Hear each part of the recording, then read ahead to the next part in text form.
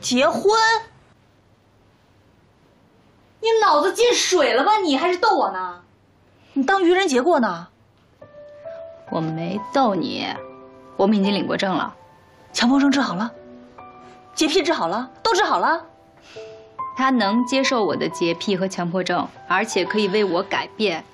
他非常符合我的要求，性格好，脾气温和，细心，关键是干净。哎呦呦，全都是优点。他为你改变什么了？才认识几天呢，你就能确定？好，就算他能接纳你，你就嫁呀？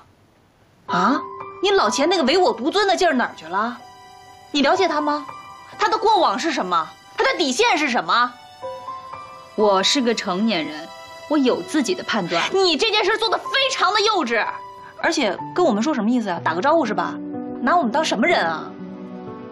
哎，好了，苏菲，你别太激动了。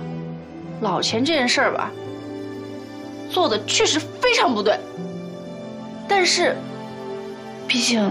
他也是一个非常成熟的人，思维又很缜密，肯定是经过了深思熟虑的，他不会那么冲动的。消消火啊！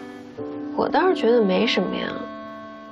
婚姻嘛，就像是开公司一样，那开公司理由不重要，目的能盈利就行。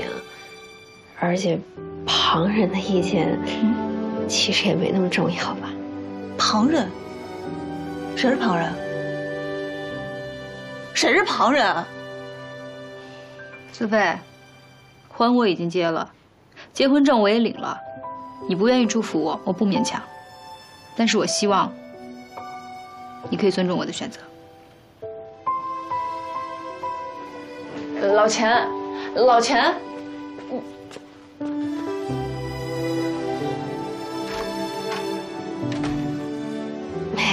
其实不就闪个婚嘛，也不是什么大事儿，不用这么夸张。你跟谁一伙的？我问你呢，你跟谁一伙的？那个，我一会儿还有个客户要见，我先走。那什么意思？跟谁一伙的？好了好了好了好了，别生气了啊！别生气别生气，嗓子都喊疼了。来，喝点水。我不喝。现在我喝什么都是火上浇油。